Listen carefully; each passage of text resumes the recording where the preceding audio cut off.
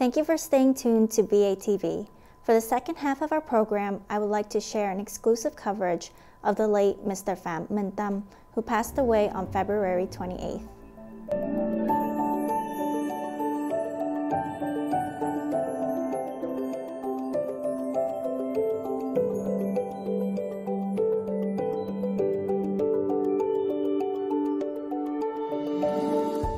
Mr. Pham Minh Tâm was the first South Vietnamese ever to wear the Gold Academy ring from the United States Military Academy at West Point, from which he graduated in 1974.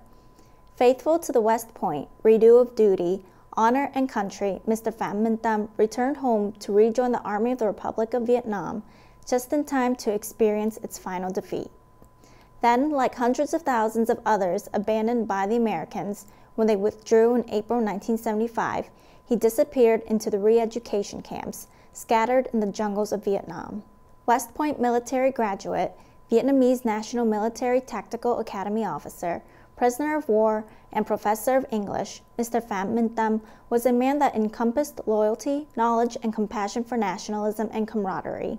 Please stay tuned for a farewell to the Honorable Mr. Pham Minh Tâm, covered by our network's Executive Director, My name is Christy Pham.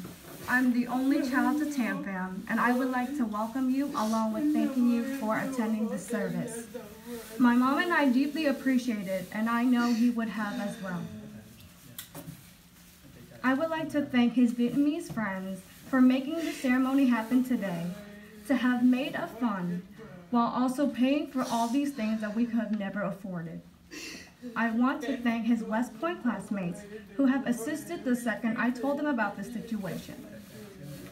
I thank you for helping us to grieve, to making a separate fund, and to guide us make his, his days after cremation wonderful at West Point. I thank everyone who is here today to support us mentally, to advise us as we are making tough decisions. Lastly, I would like to thank you all for being his friends. You guys are real, raw, and would do anything if your friends is in need. I don't know where he found you guys, but I'm glad he did. Thank you. He supported me then, and I feel like I am supporting him today.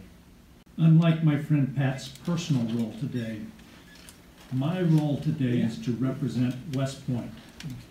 In my uniform, I represent at least somewhat the United States Army too, but I want to talk primarily about West Point.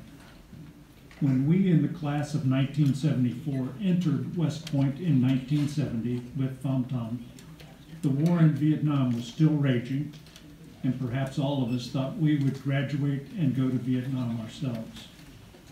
The world changed, though, and in 1974, Tom was the only one of our class to go back to Vietnam. In 1974, he could surely see that the fall of Saigon was approaching and probably could have asked for asylum here in the United States having been imbued, though, with a sense of duty and honor at both West Point and at Dalat, uh, Tom unhesitatingly, without question, chose to return to Vietnam, his country.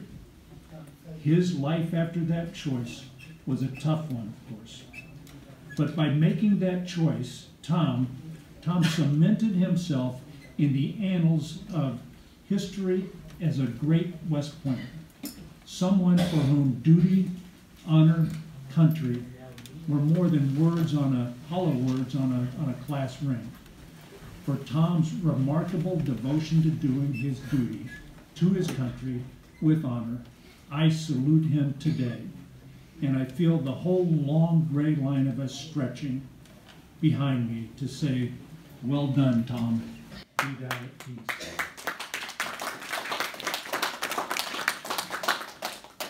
first mission that I ever received in the military was from our superintendent, uh, General William Knowlton, when he came into my room uh, with Tom, my roommate, and told me I had a single mission in addition to graduating myself to do everything I could to help as I could Tom graduate.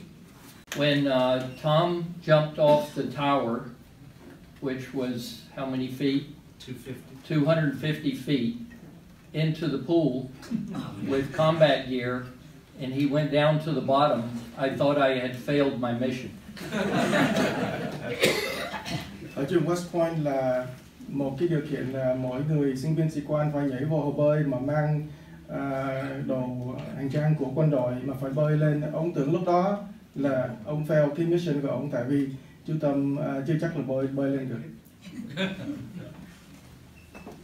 On graduation day in 1974, I hugged my roommate, my friend, and my classmate, and I didn't see him again for almost 20 years. We had a, a mission in the class of 74 is to do everything we could to bring him back to the United States. One of the greatest nights is when they arrived in Washington uh, on a plane. It's the first time I met Kim and uh, it was one of the highlights of my life. Another highlight of my life was when I saw them uh, sworn in as citizens of the United States. And I realized at lunch that uh, Kim knew more about American Constitution, Bill of Rights than, than I do. Perhaps the darkest day was when Christy called me. I was, I was in California a few weeks ago and told me about the accident. I was just, I guess, uh, uh, honored, uh, if that's the right word, uh, to be at Tom's side in the hospital in his, in his last days. The class of 74 has taken one other mission, and Colonel Martin spearheading that uh, at the Academy. And our goal and our hope is to see that uh, Tom's final resting place is at the West Point Cemetery, surrounded by famous generals, soldiers, and others that served. Colonel Martin uh, concluded his remarks as I am with the last stanza of uh, our alma mater. Um, Tom and I had some great experiences. We had a lot of fun together. We had a lot of challenges together. But he loved West Point uh, as we do. Um, and uh, the final stanza is, and when our work is done, may it be said, well done, be thou at peace. But then it concludes with, uh, live, serve, and die we pray, West Point for thee. Tom's unique in the sense that uh, he served in essentially in the military for two countries, our allies, uh, and uh, if his final resting place is at West Point, as we hope, I am confident that his heart will remain in Vietnam. We have our 45th re, uh, year reunion this fall, and I hope uh, that uh, all of our classmates, the class of 74 and their families, can come and honor the life of a remarkable, remarkable graduate. Thank you.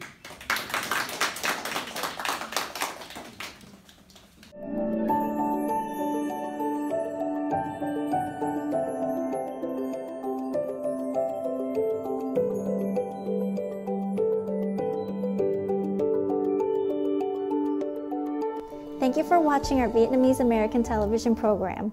I wish you a fulfilling rest of your weekend with your friends, family, and loved ones. I hope to see you again soon in our upcoming VATV programs.